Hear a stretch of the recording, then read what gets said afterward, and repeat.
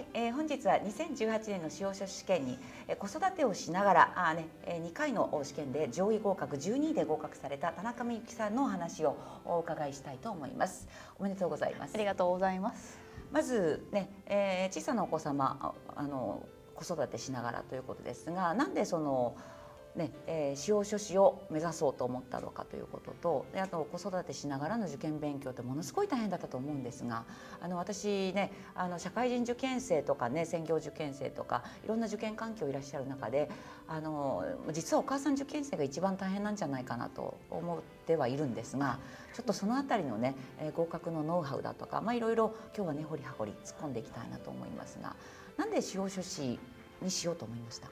えっと、子供が生まれた時に、えっと、それまでは会社員をしてたんですけど、うん、会社員だとあの忙しい時は残業とかもかなりあったので、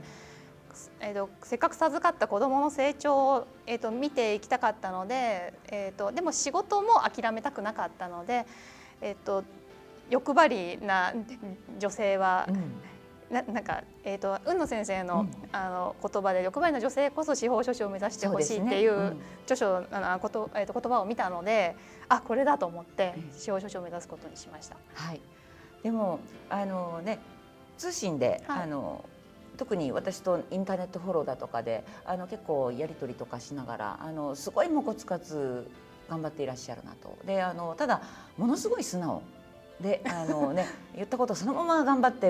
あの全力で勉強してくださってる様子を見てあの彼女は絶対受かると思いながらあの思ってはいたんですがであのただやっぱり大変なことってあったと思うんですね。あのそのあたりって例えば時間の使い方だとか自分だけの都合で動けないじゃないですか、はい、そういったところのなんか勉強法のコツとかってありますか？えーと、と子供が小さいしあとあのやっぱり子供もお母さんじゃないといけないことっていうのがやっぱりあるので、うん、それをあのあまり子供に我慢させすぎてまでやるっていうのは嫌だったので、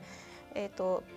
まとまった時間がなくてもあの隙間時間に、えーと、台所で料理作る時とかあの苦手だった会社法とか、うん。えっと、消灯法の、えっと、講義の聞き直しをしたりあと髪を乾かす時に、うん、えっと、雲野先生のひな形コレクションを、うん。ねうん、えっと音読しながら、えーと、ひな形を覚えたりとかあんまり、えーと、まとまった時間が取れなく取れないっていうふうに自分を追い詰めないで隙間時間を足していけばある程度の時間はできてるなっていうふうに思ってやりました。うん。うん、はい、ではあのねえ子育てしながらでも通信であればね自分のあの都合の良い時に分割受講もできるしっていう形であのそこをもうコツコツあの淡々と前に進めていくだけという感じだったんでしょうかね。えっと、通信だったので逆にそれを生かして、うん、えっと、得意な科目ですともう2.3倍とかぐらいで早,、うん、早く聞,、聞いたりとか逆にちょっと苦手な科目でも1.8倍ぐらいでは聞けたので、うんうん、普通に生えーと、生講義を受けてる方よりは時間短縮できっと講義も受けることができたと思うので、うん、通信もあの孤独ですけど、うんえっと、本人のやる気さえあれば通信の方が逆に時間は活用できると思います。はい、ではあの、ねえー、これからあの例えば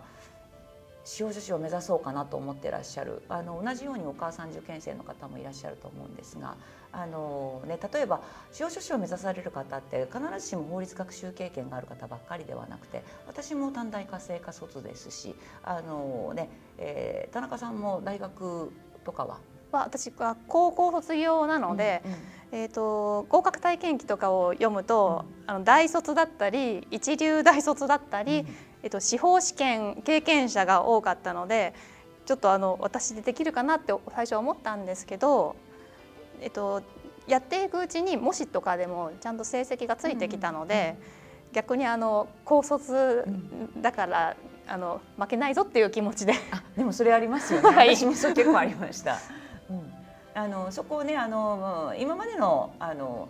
学歴とかよりも逆に生地ね法律学習経験あるからこれってこうだろうとか思わずにあのゼロベースで進めた方が取り込みやすいかなと思います。